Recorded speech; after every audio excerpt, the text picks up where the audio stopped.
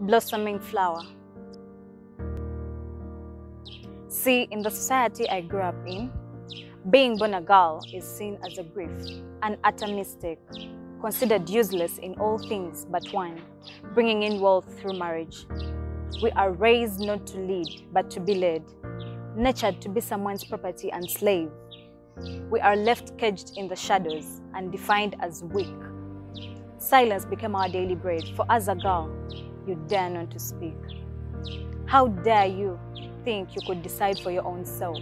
It was a disgrace. Men decided. Men who hadn't lived a day in your shoes. It is them that wrote the script of your life. We were blossoming flowers, but society let us wither. Then in came a light in society, a strong and mighty woman. Her name is She Leads. She picked up and watered us, the withered flowers, and look, we are blossoming again in beautiful colors, giving us a platform to speak out, letting our voices be heard. She held our hand.